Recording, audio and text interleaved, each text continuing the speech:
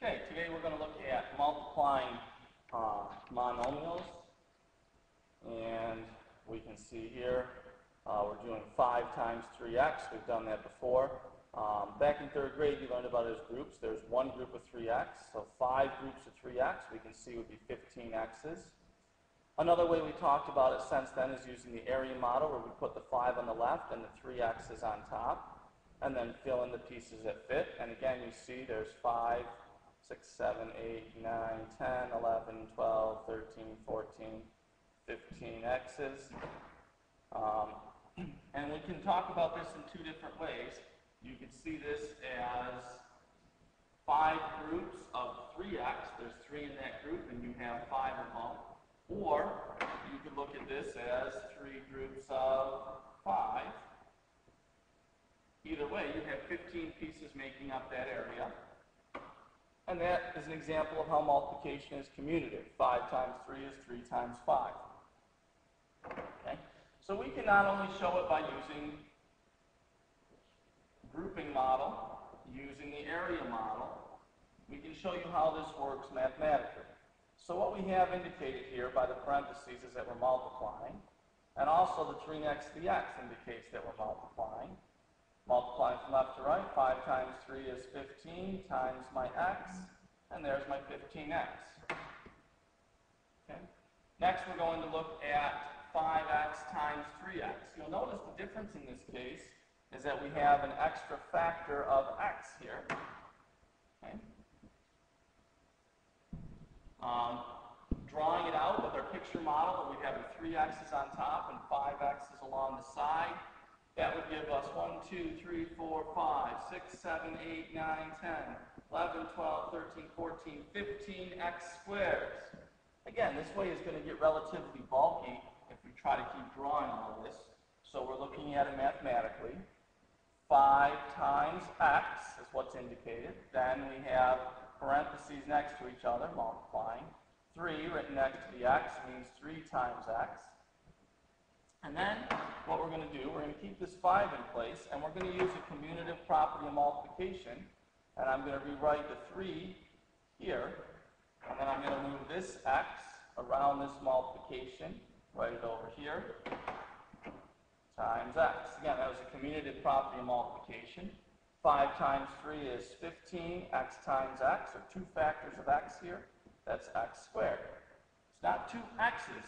Remember, 2x looks like this, x plus x. Okay? So we never want to say this is two x's. That's not two x's. That's two factors of x, and that's what we write to the second power. We don't want to equate uh, two x's with writing x to the second power. Two x's is repeated addition. It gives you a coefficient. Two factors of x is what gives us that exponent of the second power. Okay.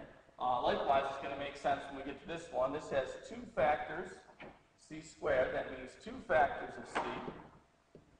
Okay. And then we have c cubed. That's three factors of c. So two factors of c multiplied by three more factors of c. That's five factors of c. Because these are exponents. It's already repeated multiplication. You can see that we're not multiplying these to come up with it. You're adding your exponents together. Okay? Um, when we do this problem, again, we could go the long way. We can write the whole thing out, use our commutative property, and then start answering individual things. Okay, 40, and then x times x times x is x cubed. And we really can get to doing this now in our head by looking at 10 times 4 is 40, multiplying your coefficients. Then looking, you have one factor of x, two factors of x. That's going to give you three factors of x when you move them all together using the commutative property. So these were the problems that we practiced in class. Let's go to the notebook and check out our answers. Majority of people were doing pretty well with that. Okay. Um, we see that our first answer is 24xyz. Again, we did the 8 times the 3 and came up with the 24. and then you have your x times your y times your z, one factor of each of them. If we were to look it out to show that it works, here is our work that shows it works. You rewrite all the indicated multiplication, and then we use a commutative property to put our coefficients together, answer that, and here's the other factors you have left.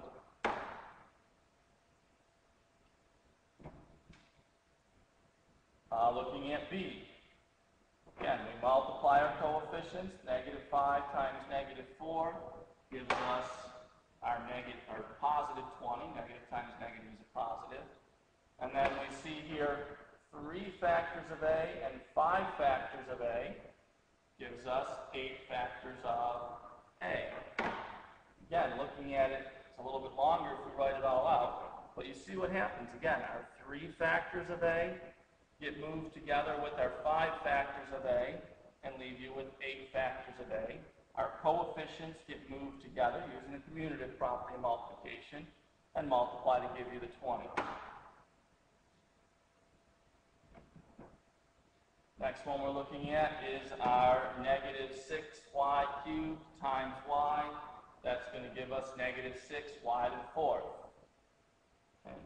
Uh, three factors of y and another factor of y gives us four factors of y. Looking at D, we have 3 times 4, that's 12.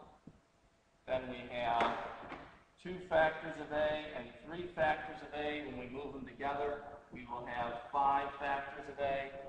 Then we have three factors of B and four factors of B. That will give us seven factors of B. Sorry, B to the seventh power.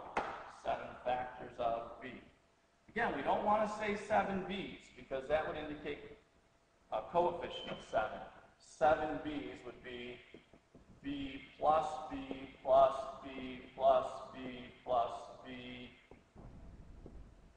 plus B, one, two, three, four, five, six, plus B. That's seven B's. This is not seven B's.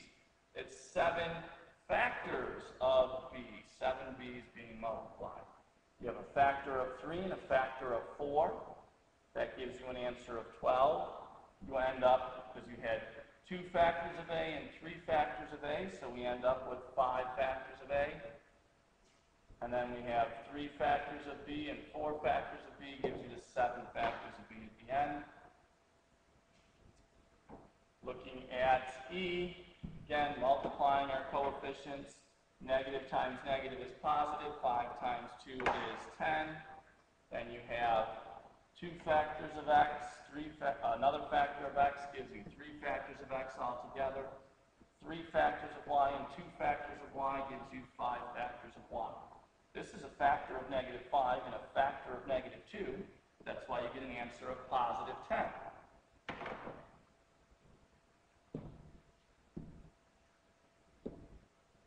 Okay, so those are all the answers.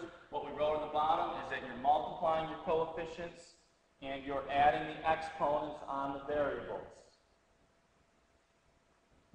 We also want to review the distributing, uh, distributive property. Let's look at what we would do without the distributive property. Order of operations, we'd add the 3 plus 4 first and get 7, multiply it by the 5 and come out with 35. Now let's look at using the distributive property, show you we get the same thing in the end. I take the 5 out in front, multiply it by the 3, and it gives me 15. Then I multiply 5 times the 4, and it gives me 20. I add those together, and it gives me 35. Let's take a look at this one. We're distributing the 4x to the 5x. Very commonly, I get 20x. Well, what we forgot about there, though, we did our 4 and our 5 to come up with 20, but you have a factor of x, another factor of x, so it is not 20x, it is 20x squared. Here we have 4 times 6, which is 24, and then you have one factor of x, so 24x. In this last problem, as we distribute it, here's where we really need to be careful about everything. First, we're going to take care of our signs. So negative times a positive is a negative. I'm going to worry about my numbers. 3 times 5 is 15. So I have a coefficient of negative 15. Now I'm going to look at my factors of A.